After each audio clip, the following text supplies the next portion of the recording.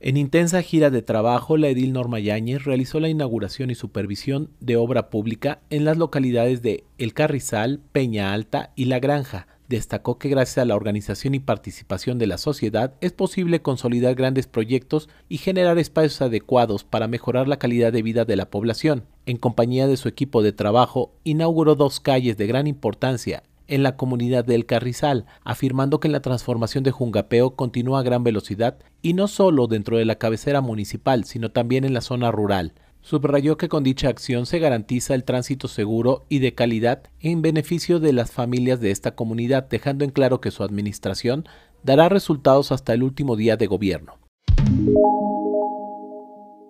Minutos más tarde se trasladó a la localidad de Peña Alta con el objetivo de realizar el arranque oficial de la construcción de la cancha de usos múltiples que contará con una inversión total de 650 mil pesos y con la finalidad de fomentar la sana convivencia familiar y fortalecer el tejido social de la comunidad. Esta obra, dijo, estará ubicada en un lugar privilegiado, brindará un espacio donde niños, jóvenes y adultos podrán practicar deportes y hacer ejercicio de manera segura y saludable, generando no solo la salud física, sino también un impacto positivo en nuestra salud mental.